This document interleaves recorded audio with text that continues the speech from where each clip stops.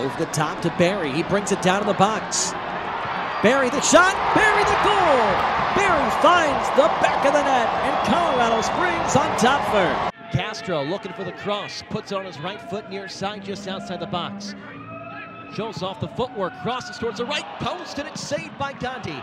A fake back to the left. Here's a shot and the goal for the Blue Jays. They take a 2 0 lead off the front of Jackson Castro.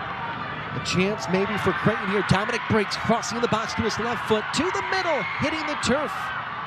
No call as it it was uh, O'Malley hitting the ground. Blue Jays still have possession. Crossing pass, looking for McGuire, and it's cleared by the Red Storm.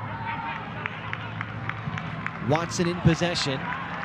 Now Probo, he crosses towards the middle, off the head of McGuire, and it's sent back outside the box. Couple chances for Creighton, and now the Red Storm clear. As Cruz was waiting for it all the way at the, the one third of the field marker.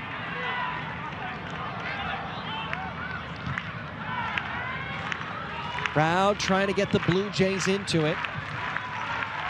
Four minutes and 20 seconds left. Probo tries to turn. It's kicked away. Knocked back by Probo. As a Red Stormer bringing the defense back and making life tough for the Blue Jays. Crossing is Briggs. He's looking for the pass. Double team just outside the box. Now circles back.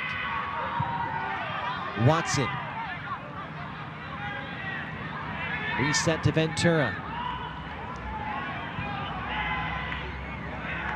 Watson. Met by Ashrafi. Over the top pass in the box to McGuire. McGuire puts it back on the left foot, crosses in the middle. August had a look for a second, but it was closed by the back line of St. John's. That had the angle too, but Red Storm defenders in the way. August, and it's a sliding tackle that will roll near the corner. Say it's a throw. They saved it from going over the touchline. A long throw coming in for Watson. MVP tonight has been the Red Storm back line, all four of them. Watson to the front. On the foot of Briggs as he sends it center field to Ventura. Big left footed kick is over the top of the crossbar. That's not what you want right there. Substitution on the field in for St. John's, number 24. Yellow cards galore in the second half. Five alone on uh, the Red Storm. And then Creighton as well has been guilty of uh, a couple as well. So you see some contact there. Yeah, the intensity, some extra grabbing. Some... Oh yeah, it's just uh, gotten real physical, and it's been to the benefit of the visitors for sure. Maybe part of the strategy too. Red Storm are up. They can afford to be a little more physical, trying to waste more time. Another player goes down. It is Briggs. No call, no whistle. Crowd wanted it. Now you get another whistle and it goes against the Jays. The crowd's going to lose their mind here. A foul against Creighton. No card, but a foul, and that gives the Red Storm a chance to slow things down and have a set play here off the kick. Kill about 20 more seconds here at least. It's on Duncan McGuire. Let's watch that again. Yeah, pushed off the ball there. Definitely a shove. Could have been a foul on Ashrafi. And McGuire came up and got him from behind, and that's where the whistle was blown.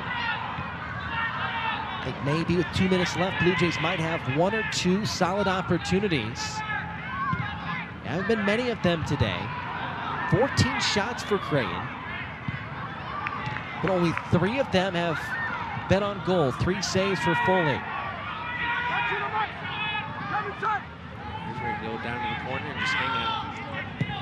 And now the Red Storm really trying to, to waste time. It's chipped out of the corner. 90 seconds for Creighton to make something happen. Let's see if it's going to happen right here. As the Blue Jays off and running at midfield. Castro crossing back to his right. Quick pass over to Probo. Down to the corner as he gets it to Briggs. Duncan Briggs.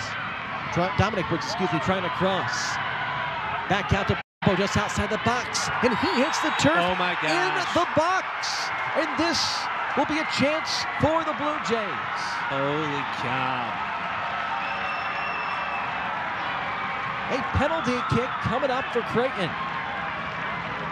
At least that's what it appears right now. Yeah, that's the call. That's the call, and Duncan McGuire is going to be the man to take. Let's watch. Wow, that's boy. If you're uh, watching this back in New York, you have every right to be livid right now. Just inside the box. Maybe Probo coming through that left shoulder back. It was close. Looks like maybe some contact on that right foot. And now Duncan McGuire, a chance to even the match and force potentially a draw. The junior from Omaha, Nebraska, leader in goals this year with seven, had one in the 81st minute against Villanova. Ryan Foley on the other side, looking for his second straight clean sheet. Second in conference in points. The junior McGuire trying to even this match at one apiece. Foley his hands up in goal. The whistle, the kick, the goal for McGuire, and we're tied at one. Duncan McGuire, his eighth goal this season.